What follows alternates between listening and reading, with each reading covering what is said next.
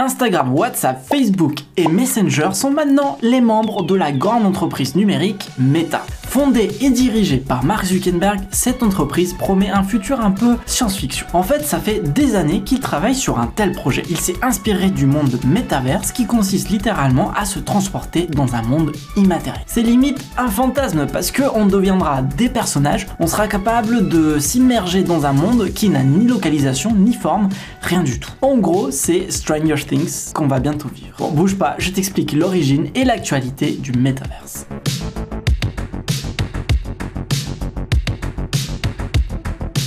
Déjà, le mot métaverse est un amalgame de deux mots, méta et univers, qui signifie littéralement au-delà de l'univers. Ce concept de métaverse s'est inspiré de la science-fiction comme Ready Player One d'Ernest Klein, adapté au cinéma par Spielberg. Mais beaucoup de personnes ne le savent pas, ce terme a été inventé par Neil Stephenson dans son livre Snow Cash, publié en 1992. Le livre raconte un monde où les humains perdent leur essence du vivant. Leurs esprits sont prisonniers d'un virus informatique qui a infecté leur cerveau. Vu comme ça, c'est pas trop l'Eldorado, mais si on ramène ça à la réalité, Metaverse, c'est de pouvoir vivre dans un monde virtuel et immersif sous forme d'avatar ou d'hologramme grâce à la réalité virtuelle. Hmm, pas mal. Bref description, la réalité virtuelle consiste à ce qu'on se projette dans un univers virtuel grâce à des interfaces genre un casque, des gants ou bientôt avec une simple puce, un peu comme dans Black Mirror.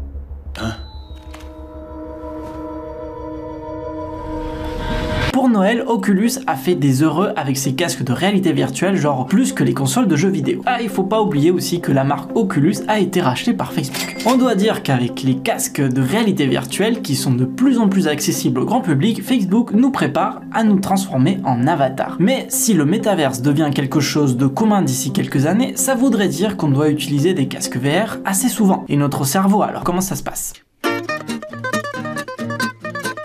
Un chercheur en médecine, Hunter Hoffman, voulait comprendre ce qui se passe dans le cerveau de ses patients brûlés quand celui-ci est projeté dans le monde virtuel. Le but est de faire passer un IRM à certains cobayes avec et sans casque de réalité virtuelle durant leurs soins pour analyser leur activité cérébrale. Il a dû concevoir un casque en plastique parce que le métal n'est pas super compatible avec un appareil IRM. Du coup, les résultats ont montré que l'activité de la partie du cerveau liée à la douleur est clairement ralentie. Par exemple, quand le patient est plongé dans un univers rempli de neige avec des belles montagnes. Dans le domaine médical, la VR peut remplacer les antidouleurs en jouant avec les sens, les émotions des patients. La sécrétion d'endorphine pourrait être plus importante sous VR. C'est fou, tout est neurologique en fait. C'est la raison pour laquelle il est important de t'abonner à ma chaîne. Allez, clique ici s'il te plaît. Et oui, il suffit de faire croire à ton cerveau que tu es au bord de la plage avec un petit cocktail à l'ananas, ça donne tout de suite l'impression que tu es en vacances sans même te déplacer. Mais d'un autre côté, la VR peut agir comme une drogue.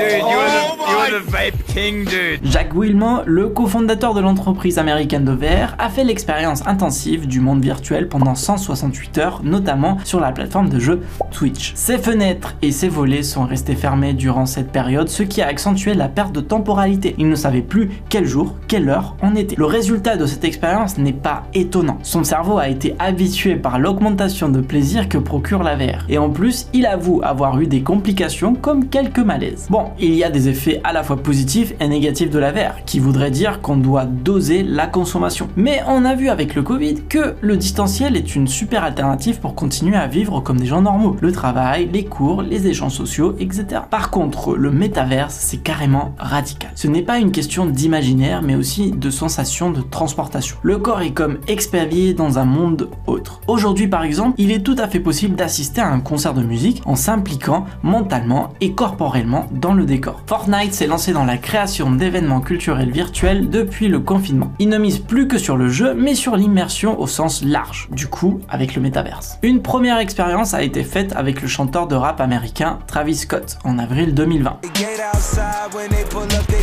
Plus de 12 millions de personnes ont répondu présentes à ce rendez-vous épique, ce qui a attiré à la fois les fans de musique et les fans de jeux vidéo. C'est énorme, depuis les autres s'y collent, euh, Justin Bieber, Ariana Grande, à Skip grâce au métaverse, bientôt on sera capable de suivre des cours à l'école sans y aller, de promener son chien sans mettre les pieds dehors ou d'avoir des relations intimes avec son partenaire sans le voir réellement. Clairement, quand ça arrivera, on aura passé toute une ère de l'humanité. Abonne-toi et à la prochaine.